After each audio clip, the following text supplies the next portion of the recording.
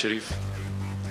यही जब मुंबई अटैक्स हुए तो इसने नवाज़ शरीफ सबसे पहले बोला कि वो जो लड़का एक लड़का वो कौन से गाँव में था पाकिस्तान में जिधर से अटैक हो। इसने किम बाकर को एक इंटरव्यू दिया था और इसने उस इंटरव्यू में बता दिया कि वो पाकिस्तान से The terrorist attack in Mumbai, Mumbai carried out by a terrorist group based in Pakistan on 26 November 2008 is a classic trans-border terrorist event.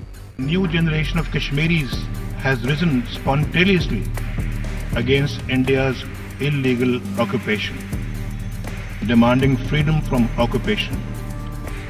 Burhan Wani, the young leader murdered by Indian forces, has emerged as a symbol of the latest Kashmiri intifada. हमने हिंदुस्तान को घुस के मारा है जनाब speaker वहां पे और पुलवामा में जो कामयाबी है पुलवामा में जो हमारी कामयाबी है वो इमरान खान की क्यादत में इस कौम की कामयाबी है। उसके हिस्सेदार आप भी सब हैं। 1979 से बहुत तब्दील होता चला रहा है। एक रिलीजियस मिलिटेंसी हमने पाकिस्तान के हक में यहाँ इंट्रोड्यूस की सोवियट्स को निकालने के लिए। ठीक है। हम मुजाहिदीन लाए पूरी दुनिया से। हमने तालिबान को ट्रेन किया उन्हें वेपन्स दिए उनको अंदर भेजा। वो हमारे हीरो थे। ठीक है। ये जो हक्कानी है हीरो है हमारा जी। ठीक है। एटीज का हीरो है। बिल्कुल है। ओसामा बिन लादेन हमारा हीरो था। सीआईए का भी था शायद। यस ये जवाहिरी हमारा हीरो था। तो माहौल अलग था। अब माहौल तब्दील हो गया। अब वो हीरो जो है वो विलेन बन गए। ठीक है? अब आप 90s को ने कश्मीर की अब आप क्योंकि हाफिज सईद वगैरह की बात कर रहे हैं। देखिए वहाँ एक फ्रीडम स्ट्रगल स्टार्ट हुई कश्मीर में। 1990 में शुरू हुई। वो उनको मारा गया। बुरी तरह से इंडियन आर्मी ने मारा। वो भागकर पाकिस्तान आ गए। अब पाकिस्तान में फिर उनको हीरो रिसेप्शन दी गई। उनकी बिल्कुल ट्रेनिंग भी होती थी और हम उनके सपोर्ट में थे कि ये मुजाहिदीन हैं जो इंडियन आर्मी से लड़ेंगे अपने हकूक के लिए।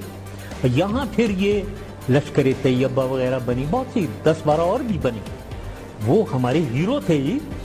वो इनको अपने भाइयों, बहनों को कश्मीर में अपनी जान के ऊपर खेल करके जाकर लड़ रहे थे। थे तो अब अब देखो ना ना इसी इसीलिए मैं कहता हूँ इसको पूरे को समझना चाहिए। समझ गया ये कि आज ये विलन है तो इनको मारो पकड़ तो इसलिए मैं कह रहा हूँ ना जन साहब कि मैं कंफ्यूज्ड नाउ अब माहौल जो है क्योंकि ये टेररिज्म ये कन्वर्ट हो गया है टेररिज्म में। ये रिलीजियस मिलिटेंसी जो पहले एक मुजाहिदीन एक्टिविटी एक पॉजिटिव उसका इम्पैक्ट था। नैरेटिव दुनिया में बदल गया। अब वो दुनिया में भी बदल गया। और आपको ये पता होना चाहिए कि जब वॉर ऑन टेरर हुई और जो पाकिस्तान की मिट्टी पलीत हुई दुनिया में कि हमारा गया जी फौज दोगली है क्योंकि तब मुशरफ का मार्शल लॉ था। ये हमारे से झूठ बोलती है करती कुछ है कहती कुछ है डॉलर्स हमारे से लेती है और दोगली गेम खेलती है। डबल गेम, दोगला, तब नाम इस्तेमाल होता था। पाकिस्तान को वर्ड ही दोगला इस्तेमाल करते थे, डबल गेम का नाम करते थे। जरा इंटरनेशनल मीडिया देखें। किसने अपनी फौज को सबसे ज़्यादा जिसकी हिफाजत की? किसने अपनी फौज के साथ इंटरनेशनल मीडिया पे खड़ा हुआ? जब उसामा बिन लादेन, जब वो एबटाबाद में, जो वो हादसा हुआ, आपको पता है बैरून मुल्क पाकिस्तानियों के ऊपर जो गुजरिया, आप अंदाज़ा नहीं लगा सकते। उन्होंने कहा, हमारे से पैसे ले रहे हैं और उसी को अपने एकेडमी के पास एबटाबाद में पाला हुआ है। जो हमें जिल्लत मिली तब, कौन बोला आपके लिए?